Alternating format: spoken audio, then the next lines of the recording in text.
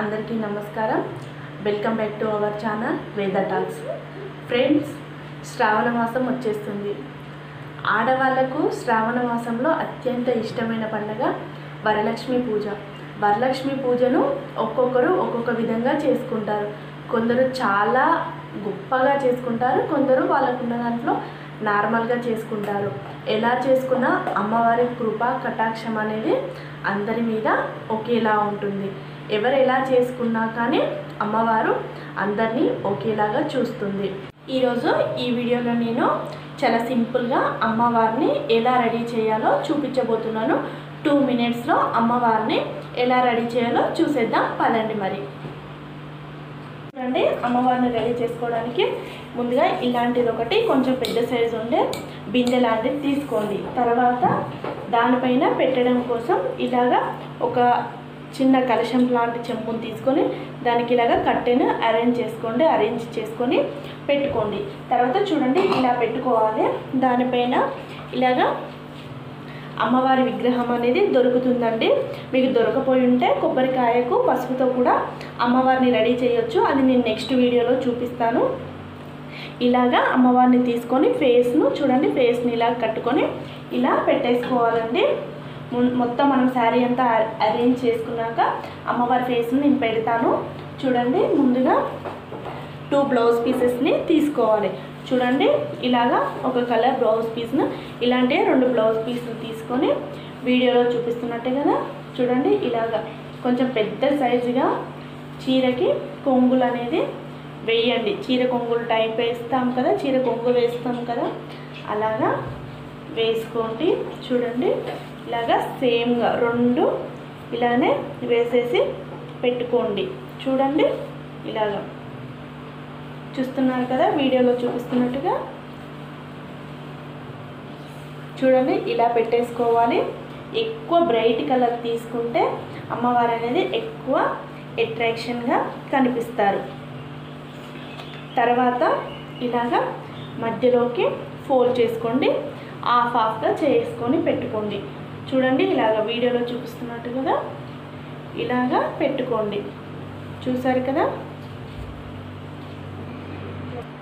చూసాం కదా? ఇలా మధ్యలో ఇలా ఫోల్డ్ చేసి పెట్టుకోండి. అలాగే సేమ్ ఇంకొకటి కూడా ఇలాగే రెడీ చేసుకోండి. చూసారు కదా? సేమ్ ఇంకొకటి కూడా నేను ఇలాగే రెడీ చేసి పెట్టాను. చూసారు కదా? ఇప్పుడు మనం ఏం చేద్దామంటే ముందుగా ఇక్కడ ఇలా దీన్ని సెట్ చేయండి. చీర చీర కుచ్చిళ్ళ టైప్లో సెట్ చేసేసి ఒక దారం ఉంటుంది కదా ఒక దారంతో ఇలాగా కట్టండి. కొంచెం కొంచెం కడితే సరిపోతుంది. చూడండి ముందు ఇక్కడ కొంగులు అనేటివి చీర కుర్చీలు అనేటివి కరెక్ట్గా సెట్ చేసుకొని కట్టుకోండి.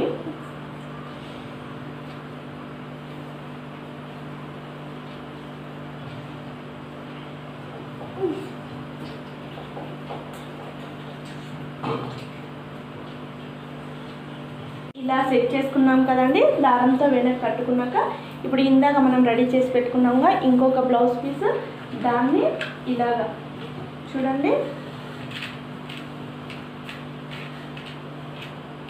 చూపిస్తున్నాను కదా ఇలాగా వేసుకోండి. అంతా సెట్ చేశాక మంచి లుక్ అనేది వస్తుంది. చూడండి. ఇప్పుడు ఇక్కడ ఒక పిన్నీస్ లోపటి నుంచి పిన్నీస్ని పెట్టుకోండి. అప్పుడు కొంగు అనేది ఎటు కదలకుండా ఉంటుంది. తర్వాత ఒక చిన్న సింపుల్గా వడ్డాల అనేది సెట్ చేయండి. చూసారు కదా? చూడండి ఇలా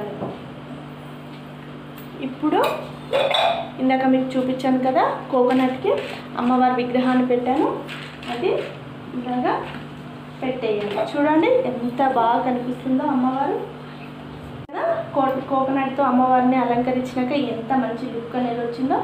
మనం ఎంచుకునే బ్లౌజ్ పీస్ వల్లే కలర్ అనేది మంచి అట్రాక్షన్ అనేది వస్తుందండి. పువ్వులు కూడా పెట్టుకోవచ్చు. ప్రజెంట్ నా దగ్గర పువ్వులు లేవు కాబట్టి నేను పువ్వులు పెట్టట్లేను. మీ దగ్గర ఉంటే పువ్వులు పెట్టుకోవచ్చు. చూడండి ఇప్పుడు నా దగ్గర ఉన్న జ్యువెలరీతో అమ్మవారిని అలంకరిస్తున్నాను. నేను కాసుల పేరు నా దగ్గర ఉన్న కాసుల పేరుతో అమ్మవారికి అలంకరిస్తున్నానండి. చూడండి ఇంకొక కాస్ట్ల పేరు లాంగ్ది షార్ట్ది వేసేసి అలంకరిస్తున్నాను అమ్మవారిని. చూడండి ఎంత బాగా ఎత్తుకొచ్చిందో అమ్మవారికి. చూసారు కదా ఎంత బాగుందో అమ్మవారు. చూసాను కదండి టూ బ్లౌజ్ పీసెస్తో అమ్మవారిని ఎంత చక్కగా అల అలంకరించానో. ఈ వీడియో చాలా సింపుల్గా అమ్మవారిని అలంకరించుకునే వారికి ఈ వీడియో అనేది బాగా యూజ్ అవుతుందండి. మళ్ళీ ఒక మంచి టాపిక్తో మీ ముందుకు వస్తాను. ఈ వీడియో కనుక మీకు నచ్చినట్లయితే లైక్ చేయండి షేర్ చేయండి కామెంట్ చేయండి. తప్పకుండా నా ఛానల్ని సబ్స్క్రైబ్ చేసుకోండి. అంతవరకు మీ అందరికీ నమస్కారం.